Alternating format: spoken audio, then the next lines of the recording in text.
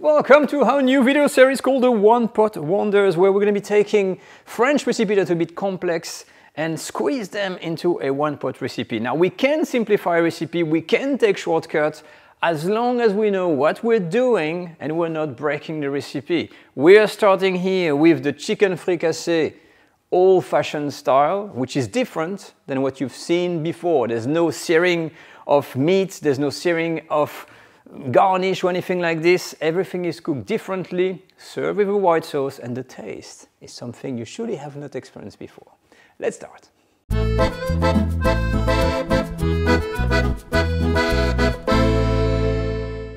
Right, chicken fricassee. What is the deal? Why is there a different version online and here and what I'm telling you is going to be different? Well, if we look at the Larousse Gastronomique, which is the world reference for chef and gastronomy around the world, the definition of a fricassee is a white ragout where the meat and the garnish is cooked without coloration at all. So here we're just going to use mushrooms, onion, carrots, bouquet garni, some creams and wine with the chicken, and we're going to slightly color everything, covered with liquid, and let it cook. The whole thing is then finished with a bit of cream, some eggs to thicken the sauce, and that's it. Simple little things, but will really change that recipe if you've been trying it before with the browning of meat. And that is super important. So now let's look at what you need. Now let's talk mise en place. Always the same, whatever you cook, always get ready for here. This recipe is quite simple. You need what, about five or six mushroom. You'll find everything in the video description. A few of these pickling onions that I'm gonna cut in half. One bouquet garni, a little bit of butter, an egg, and about a carrot that you're gonna uh, peel and slice. We're going to use some cream, about 50 to 100 ml, 100 ml of wine, and of course the chicken that is in the fridge. So as you can see, there's not much to that recipe at all. It's very simple and very straightforward. So we're going to start now to prepare the chicken.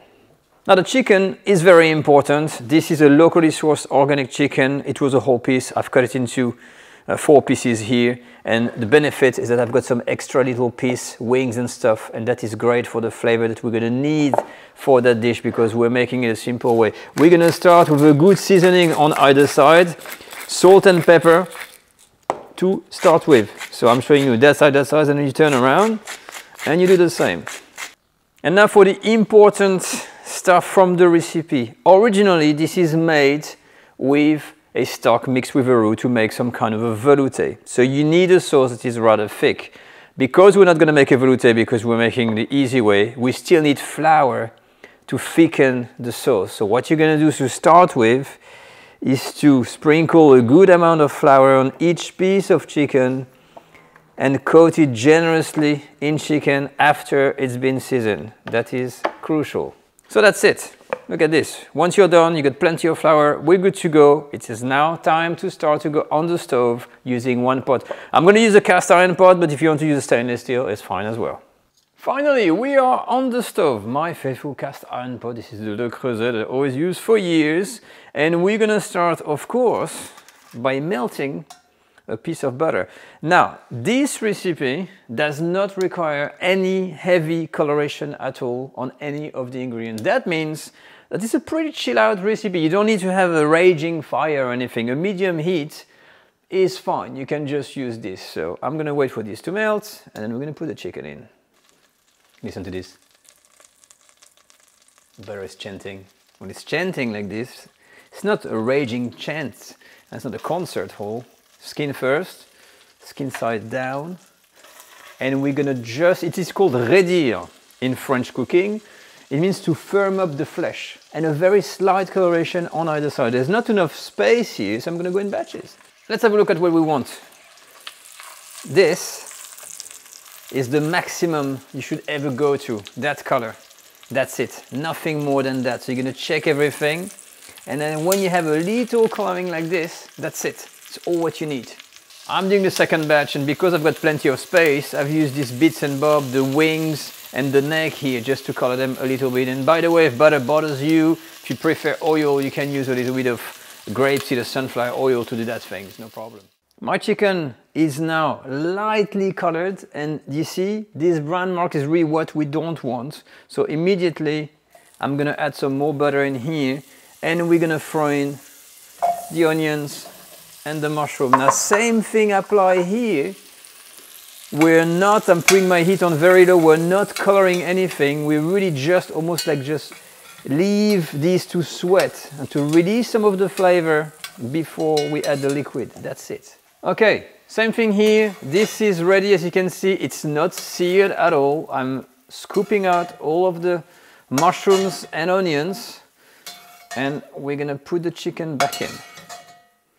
Now the chicken is back in and I know that you're gonna say, oh my God, that doesn't look appetizing. I don't have the typical brown color, but look, there's nothing you can do about it. This dish is not supposed to be seared and it's not all about having this nice Instagramish kind of color that you can photograph. It is the nature of the dish. And look what we're gonna do here. We're gonna add another good tablespoon of flour and mix that with the chicken. So you turn things around with the flours, we toast it a little bit in the dish. Immediately after the flour is in, we're gonna stop the cooking by adding the wine. And then very slowly, while this is bubbling away, we're gonna start to add all of the other ingredients. That means the leftover chicken, the little garnish that is here of onion and mushroom, and we're gonna mix everything well or will. Now, because this is a one pot and we're simplifying everything, we've put the flour in here instead of making a roux, and we're not using a white chicken stock. So what you have to use is water. So all what we're gonna do is top up with water so we barely, barely cover the chicken. That's about it. And I'm gonna raise the heat slightly and bring this to a simmer. My liquid is almost coming to a simmer. It is now time to add the additional elements. We're gonna have the bouquet garni. I'm gonna add an extra bay leaf. And of course, what did we forget is the carrots on here that we haven't added.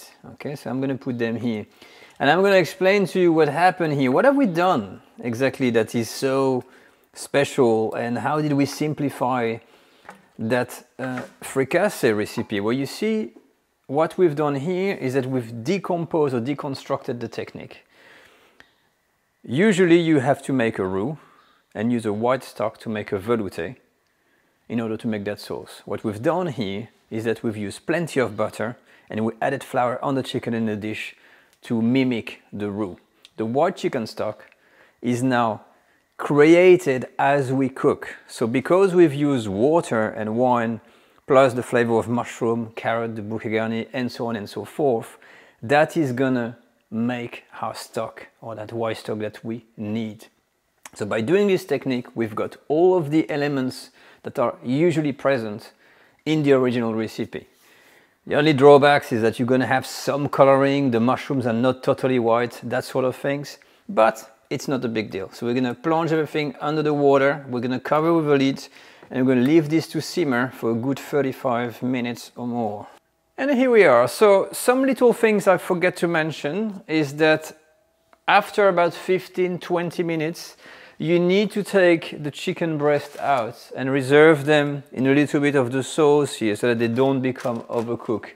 Uh, cooking time for the legs, I thought 30 minutes was you know, could go a bit longer to release some more flavor. So I've left this about 40 minutes because I think, you know what, chicken legs, there's no way to really overcook a chicken leg. So we are now done. That's how it looks like. And what we're gonna do now is to simply make the sauce. First thing we're gonna do is to scoop out the legs, okay? And then we're gonna discard, of course, the neck. You know, that we have the, chick uh, the chicken neck and the pieces of wing like this. That's gonna be discarded in a bowl, okay? Now, of course, you're gonna discard the bouquet garni as well, the bay leaf, and when you're done, you got your chicken here. I'm gonna take a, a little bit of the sauce to keep it moist, a bit everywhere like this, not too much because you need the sauce. And then you're gonna take parchment paper or foil and you're gonna keep this on the side while we finish the sauce. For the show, the sauce, sorry, it's gonna be simple. We're gonna put this to a medium to high heat and just bring this to a light boil to concentrate the taste.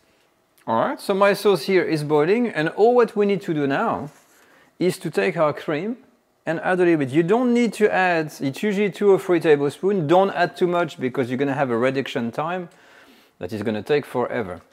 But the color that you're gonna have is gonna depend on that. And once the cream is in, it is time to really finalize the sauce and that is the reduction.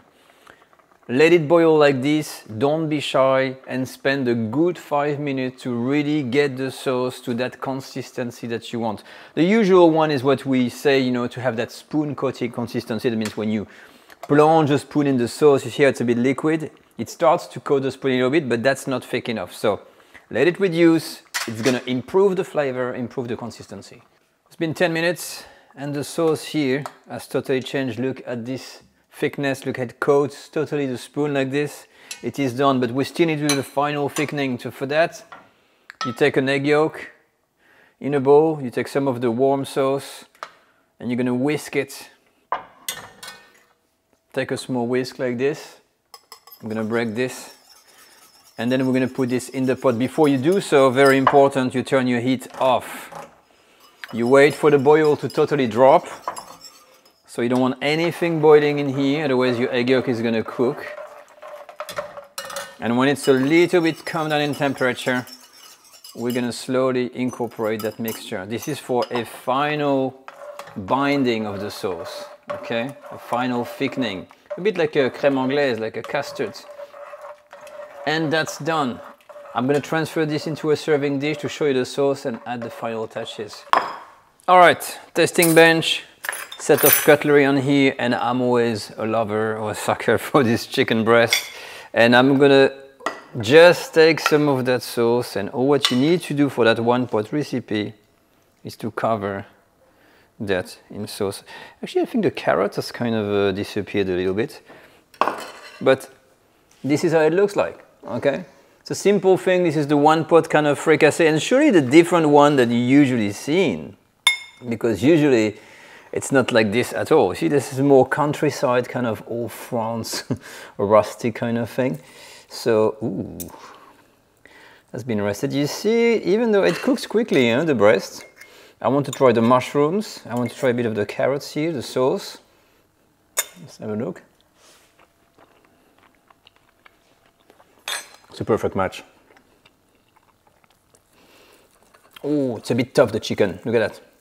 You see, even 15 minutes was a little bit tough. It's not the end of the world, but it's a bit dryish. It's a bit dryish. But that sauce, I can forgive the chicken because the sauce.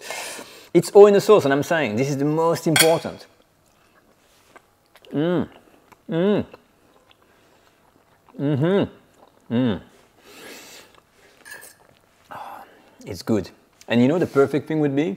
You take some rice with this, like a pilaf rice. Ooh, absolutely beautiful.